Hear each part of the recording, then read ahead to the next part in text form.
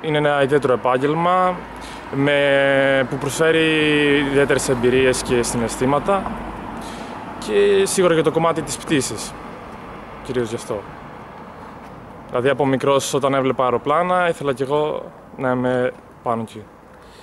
Πίστευες ότι μπορούσες να τα καταφέρεις, έτσι; Ε, η αλήθεια είναι ότι από μικρός ναι, ε, υπήρχαν κάποιες αμφιβολίες γιατί τα άτομα ήταν περιορισμένα, οι υγειονομικές απαιτήσεις είναι αρκετές, αλλά βήμα-βήμα ήρθε, ήρθε. Ε, και σημασία είχε η επιμονή, ε, διότι την πρώτη φορά δεν πέρασα, αλλά ήθελα να το κάνω αυτό. Ξανάδωσα και πέτυχα. Σε ποιον πιστεύεις ότι έδωσες μεγαλύτερη χαρά; Νομίζω στον πατέρα μου. Νομίζω αυτό ήταν. Ναι. Στήριγμα. Ε, στήριγμα σίγουρα πρώτα απ' όλα οι γονείς και καθηγητές και φίλοι. Καθηγητές από όλα και από το σχολείο και από φροντιστήριο και από παντού. Και από προηγούμενα έτη εννοείται. Πέρυσι πέρασα στο χημικό πατρόν. Ε, εντάξει, ήταν βέβαια δεύτερη επιλογή μου στο μηχανογραφικό. Παρ' όλα αυτά ήθελα να κυνηγήσω μέχρι τέλος στη σχολικάρων.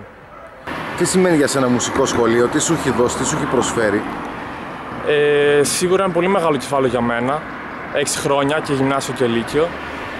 Ε, και ε, η μουσική έχει βοηθήσει νομίζω πάρα πολύ. Με τα παιδιά έχουμε δεθεί πάρα πολύ έξι χρόνια. Και σίγουρα οι καθηγητές, ε, έχει πολύ καλούς καθηγητές.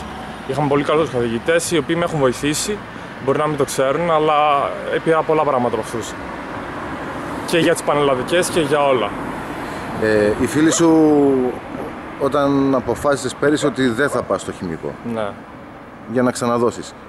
Ε, τι σου είπαν, πώς το πήραν; Ε, οι φίλοι μου ξέραν ότι ήθελα ε, και σίγουρα με στηρίξανε. Μου είπανε καλά έκανες και δεν πήγες.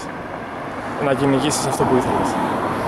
Υπάρχει κάτι συγκεκριμένο που σε εξητάρει σε ό,τι αφορά τη σχολή Ικάρων; Ε, πτήση με μαχητικά σίγουρα. Τα μαχητικά.